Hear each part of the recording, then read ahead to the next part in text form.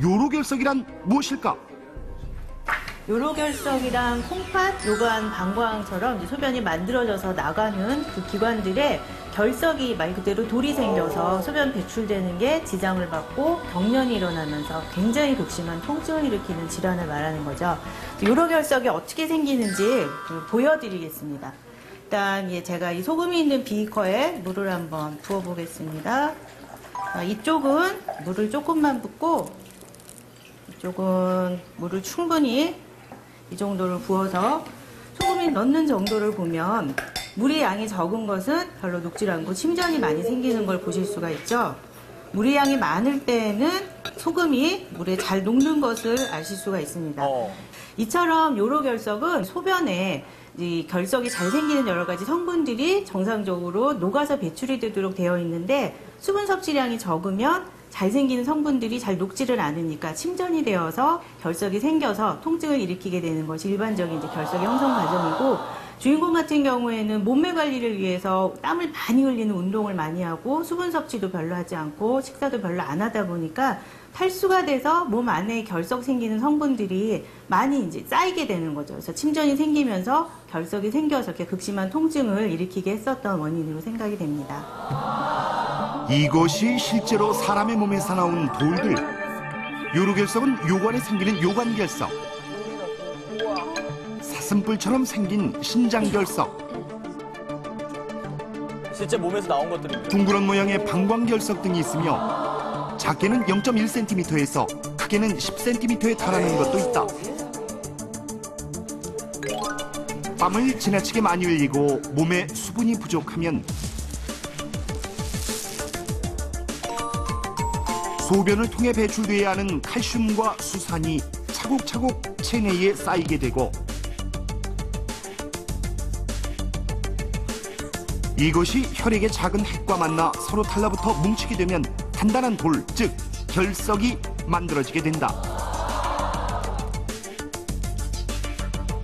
그리고 콩팥에서 생긴 결석은 소변을 따라 요관을 타고 내려오는데 결석이 요관을 막을 경우 소변이 막히고 요관에 경련이 일어나면서 극심한 통증이 오는 것이다. 그렇다면 요로 결석에 걸리는 환자 수는 얼마나 될까? 실제로 우리나라에서 비뇨기과를 찾는 환자의 약 30%가 요로 결석 때문이라고 하는데 몸에서 나온 거래요. 최근 25년 사이 환자 수가 약 3배나 증가했다. 왜 그렇죠? 또한 요로결석은 높은 재발률로 악명 높은데 1년 안에 재발하는 환자가 7%, 5년 안에 재발하는 환자가 무려 50%에 이른다.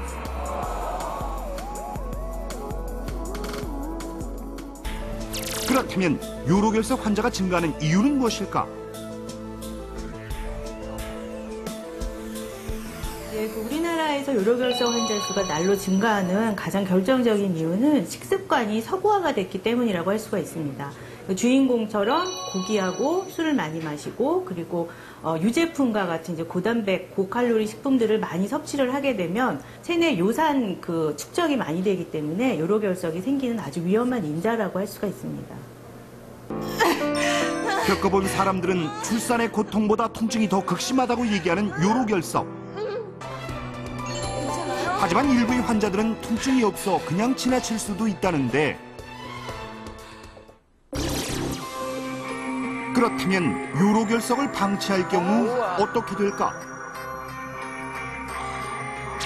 실제로 우리나라에서 요로결석이었던 40대 가장이 통증이 적어 방치를 했다가 한쪽 콩팥의 기능이 완전히 상실돼 제거 수술을 받았고 당뇨병을 앓던 50대 여성은 요로결석으로 인한 폐혈증으로 결국 사망하기도 했다. 어. 이처럼 요로결석을 방치할 경우엔 신우신염, 농신증, 폐혈증, 수신증 등의 다양한 합병증을 초래할 수 있다. 그렇다면 요로결석의 치료법은 무엇일까?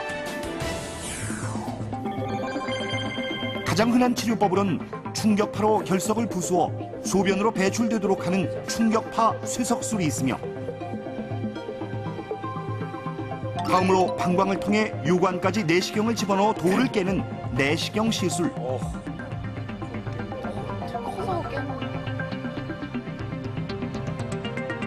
마지막으로 다른 방법이 여의치 않을 경우 배를 절개해 돌을 직접 꺼내는 복강경 수술이 있다.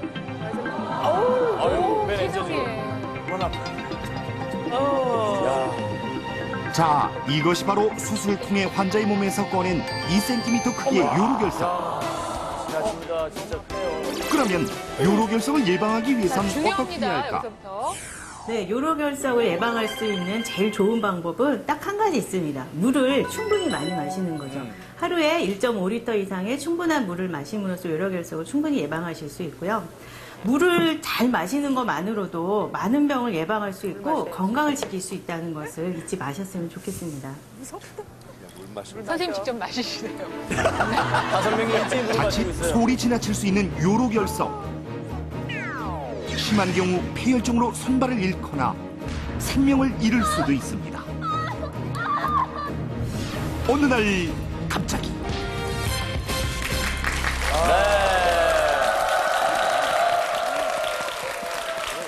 야 저희가 물을 나눠드렸는데 물 마셔야겠습니다. 그동안은 그렇게 안 드시다가 갑자기 다섯 명이 일제히 지금 물을 네. 많이 아, 드시고 저 역시 수분 섭취를 좀 안 하는 편에 속하거든요. 자꾸 이제 다른 음료수나 커피를 마시게 되는데 네. 물로서 섭취할 때 요령서 자체를 예방할 수 있다고 하니까 음. 물을 가까이 하겠습니다. 요로결석이 최근 25년 사이에 세배나 증가했습니다. 이 모든 것이 잘못된 생활 습관인데요. 우리가 찜질방, 사우나 가서 땀을 많이 흘리지만 물을 적게 드시는 분들이 많습니다. 또한 음식을 짜게 먹고 또한 다른 나라에 비해서 술을 많이 마시는 편이죠. 이 모든 것이 요로결석의 원인입니다. 물만 많이 마셔도 이 모든 것을 희석시킬 수 있죠. 자, 여러분이 생각날 때마다 마시는 물 한 잔이 건강을 지킬 수 있는 사실을 절대로 잊지 마시기 바랍니다.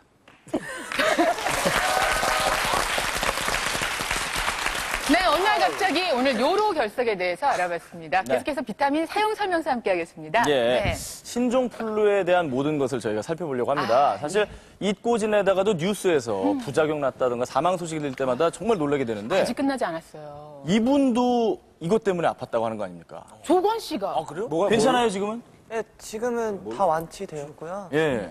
그때 당시에 많이 놀랬는데 지금은 건강합니다. 아 그래요. 예. 처음에 많이 놀랬죠.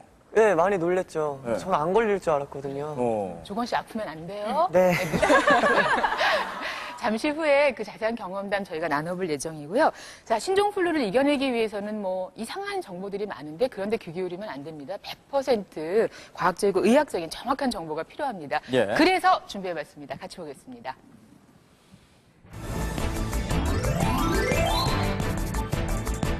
비타민의 노하우로 정리해본 건강 매뉴얼.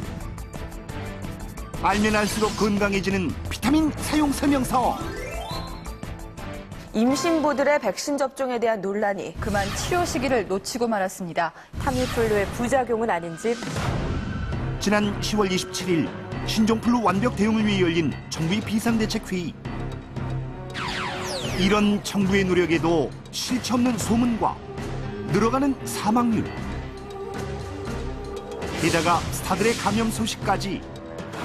과연 당신은 신종플루 바이러스의 공포에서 안전할 수 있을까?